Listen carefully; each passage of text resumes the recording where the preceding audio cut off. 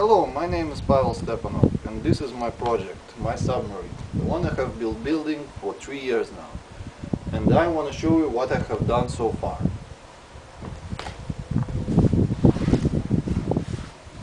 To current date, the deadwood is finished and is welded to the frame. So as you can see, the deadwood shaft, the stern and all of this are mounted and fitted to the engine. The shaft, deadwood, the propeller, everything is done custom, except for this one. Uh, everything else was welded by me. Uh, I was doing this three years ago in a shop. Uh, as you can see, uh, the the back of the submarine is chrome tubes. Uh, everything else is basically this metal armature.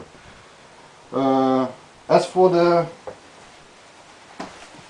boat, uh, it is done with uh, fiberglass. It's only half, and uh, there are going to be three layers. So there are going to be three more layers. But first, I need to finish the coating of this layer first cover it all uh, then add add polyester fiberglass. So this is basically what I'm going to be coating it with. It's already uh, mixed with fiberglass so it's just you just add it and spread it all out and it's gonna be looking very nice. So I need a lot, a lot, a lot of this. And I need a lot of this. This fiberglass.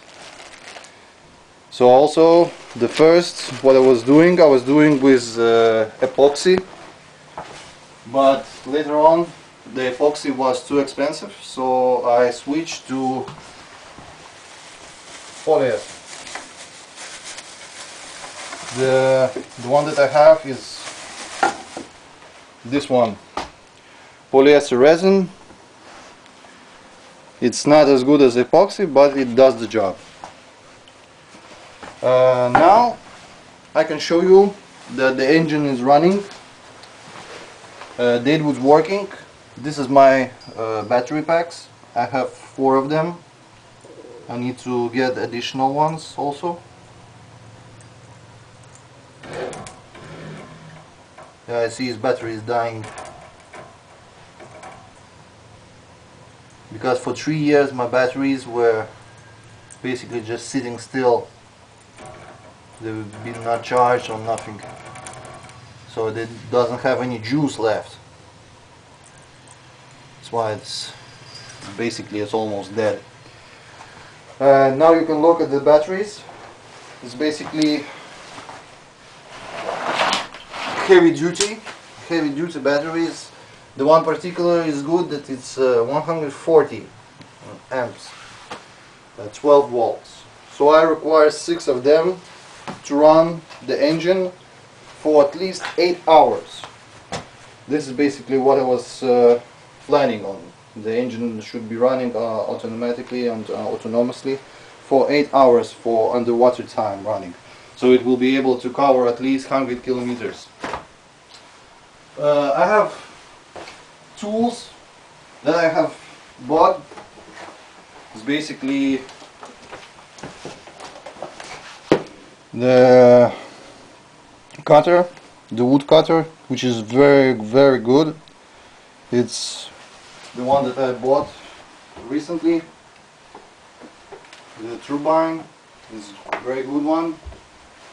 Then I have bought also this it's uh, electrical sprayer so I will be able to spray the, the fiber maybe if it's possible to mix it with uh, resin. I, I, I, haven't tried this yet.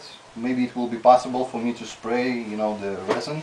It will be much much easier for me than to do it with brush and roller.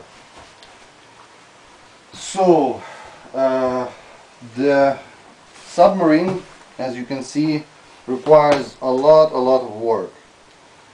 Basically all the floors all the interiors should be all done. It requires a lot of fiberglass a lot of fiberglass. As basically as you can see I was doing it I was wrapping it around with uh, foil with this foil and on top of this foil I was putting the fiberglass layers. So this is what I was basically uh, this was my plan for making the layer coatings of the fiberglass. So I would just I would just uh, take this roller of sticky paper like this attach to the end and then would layer it out all all all submarine like this. And on top of this I would be putting fiberglass. This is basically this is this is my plan for war. Uh, basically as for operation of the submarine itself it requires ballast tanks. This is what I have. This is basically industrial pipe.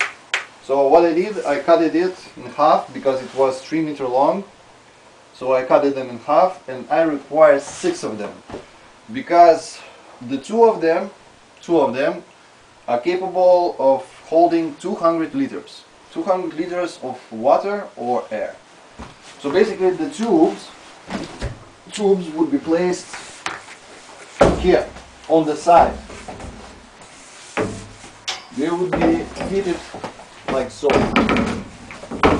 in this part and six of them would be sitting one on top of the other like this. This is basically where the ballast tanks would be placed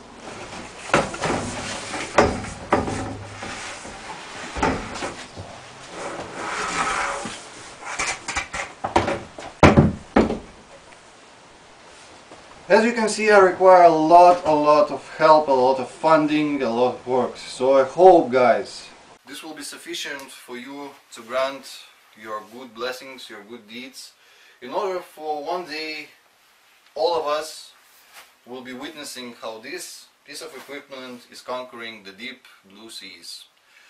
Thank you for your time, thank you for your interest and I hope you will be backing me up. Goodbye.